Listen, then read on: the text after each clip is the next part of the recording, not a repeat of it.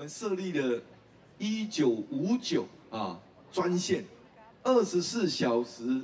接受民众的陈情啊，甚至报案有没有动物被虐待的情形，甚至呢也可以接受民众的反应，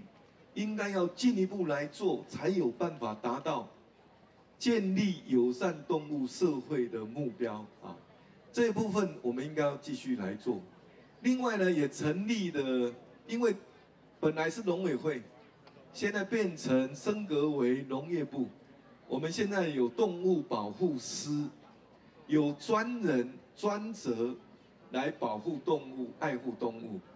从动物的这个生老病死啊，哈，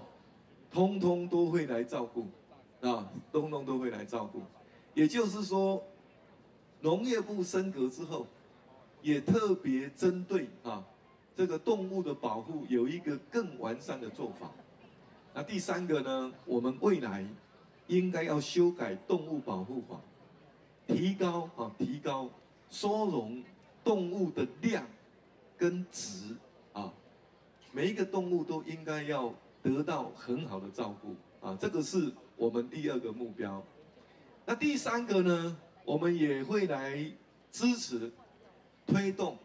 对于爱护动物啊、保护动物的各项各项创新的作为，来增进动物的福祉。